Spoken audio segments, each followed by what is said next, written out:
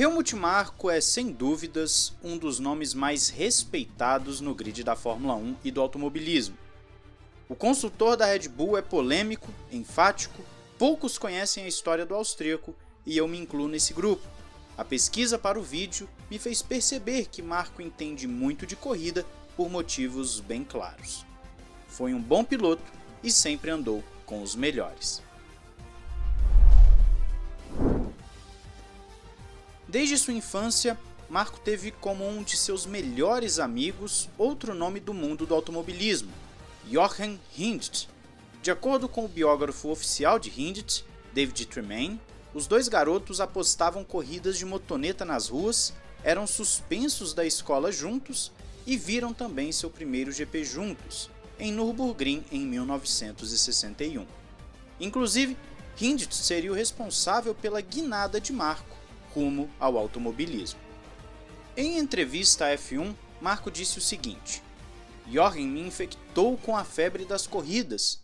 Nós sempre tivemos interesse nas corridas, mas eu não tinha a confiança em mim. Quando Jorgen foi para a Inglaterra e obteve sucesso, eu pensei: se ele pode, por que eu não? Eu e todos os austríacos que seguimos temos que agradecer a ele, porque foi quem abriu as portas. Para quem não sabe, Hindt é o único campeão póstumo da F1, tendo conquistado o título em 1970. Morreu após acidente no GP de Monza. Seu companheiro Emerson Fittipaldi impediu os adversários de chegarem na pontuação do líder, fechando o campeonato a favor de Jochen. Antes de entrar de vez para o automobilismo, Marco chegou a completar doutorado em Direito aos 24 anos de idade. Por isso o chamam de Doutor Helmut Marko não é apenas por respeito à sua trajetória nas corridas.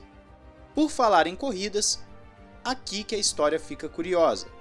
Em 1970, Marco competiu pela primeira vez nas 24 horas de Le Mans com um Porsche 908 e de cara venceu em sua classe. No ano seguinte, o austríaco voltou a competir em Le Mans e não apenas venceu, como foi o primeiro colocado geral da prova, ou seja, venceu duas vezes em Le Mans, se considerarmos as categorias disputadas, um feito muito prestigiado no automobilismo, já que Le Mans é uma das provas mais importantes do mundo das corridas. Marco também competiu em uma das provas clássicas do automobilismo, a Targa Florio, que era disputada na Sicília, na Itália. Targa Florio é considerada uma das corridas mais antigas do mundo do automobilismo, sendo mesmo anterior às célebres 500 milhas de Indianápolis. Não existe qualquer outra prova com características semelhantes. Lamentavelmente, Targa Florio foi uma das corridas que não conseguiu resistir à passagem do tempo. O motivo é até bem simples. A sua realização nas condições originais deixou simplesmente de ser possível. Nem mesmo as duas guerras mundiais conseguiram interromper a sua realização, tendo sido disputada sem interrupções entre 1906 e 1977. A Porsche é uma das marcas com melhores recordações desta prova, tendo alcançado 11 triunfos entre 56 e 73. A Alfa Romeo também foi feliz em Targa Florio, com 10 vitórias entre 23 e 77. Por sua vez, a Ferrari também viu seus pilotos subirem sete vezes ao lugar mais alto do pódio, entre 48 e 72. A Bugatti venceu cinco vezes consecutivas, entre 25 e 29, enquanto a Maserati também dominou quatro vezes seguidas, entre 37 e 40.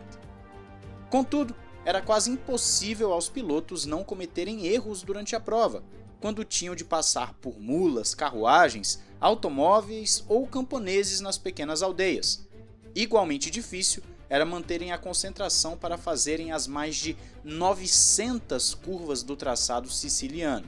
Um dos poucos locais onde teoricamente seria possível aos pilotos respirar durante alguns momentos era a reta de Buonfornello. Claro que os pilotos aproveitavam esse ponto para carregarem a fundo no acelerador e os automóveis mais potentes viam o ponteiro do velocímetro chegar a cerca de 300 km por hora. Na penúltima edição do evento, em 72, Helmut obteve o recorde de volta de Targa Florio, que nunca foi superado. A bordo de um Alfa Romeo com um motor V12, ele percorreu 72 km do circuito com um tempo de 33 minutos e 41 segundos, tendo uma média de velocidade próxima a 128 km por hora.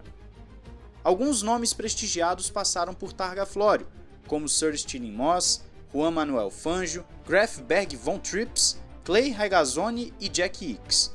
Seis semanas depois de seu feito no Targa Florio, em julho de 72, Marco participou do Grande Prêmio da França. Enquanto estava na pista, uma pedra atirada pela Lotus de Emerson Fittipaldi atingiu seu capacete e atravessou a viseira. O incidente custou ao austríaco seu olho esquerdo, encerrando sua carreira como piloto, que na F1 durou apenas nove provas entre 71 e 72. O triste acidente fez Helmut mudar seus rumos. Virou empresário dos compatriotas Gerhard Berger e Karl Wendlinger. Em 1989, criou a RSM Marco, equipe para disputar a Fórmula 3 e a Fórmula 3000, que na época eram os degraus mais próximos da Fórmula 1. Foi ali que a história com a Red Bull começou a se desenhar. Com uma relação próxima com Dietrich, fundador da Red Bull, Helmut conseguiu o patrocínio da marca em sua equipe em 1999 e então transformou a RSM no Red Bull Junior Team, que funciona com sucesso até hoje em diversas categorias. Desde então, Marco caça talentos para a Red Bull, se tornando consultor da equipe com poder igual ao de Christian Horner, por exemplo. O programa de pilotos da Red Bull se tornou o mais bem sucedido da Fórmula 1 moderna. A critério de curiosidade, desde 2005, que é o ano da estreia da equipe Red Bull na Fórmula 1, sempre tiveram um piloto vindo do programa. A exceção, na verdade, fica por 2007 e 2008, quando a dupla era Coulter e Weber. Desde 2009, o time tem pelo menos um piloto que veio da Toro Rosso, equipe formada em 2006 para gerar os pilotos para a Red Bull. Vettel e Verstappen são os nomes campeões que saíram do programa. Marco já deu várias entrevistas citando o quão impressionantes ambos eram quando muito jovens. Conhecido por ser linha dura, Helmut afirma que cuidar demais dos jovens pilotos é ruim, eles precisam sobreviver. Independente de gostar ou não, fato é que Helmut Marko obteve sucesso em sua curta carreira como piloto e é extremamente bem sucedido na função que exerce na Red Bull. Do grid atual, pelo menos sete nomes passaram diretamente pela aprovação dele. Nenhuma outra equipe pode dizer o mesmo. Eu espero que você tenha gostado do vídeo e em breve soltaremos um conteúdo sobre a carreira de Toto Wolff, chefe de equipe da Mercedes. Não esqueça de se inscrever e ativar o sininho para não perder nada. Um grande abraço! Valeu e falou!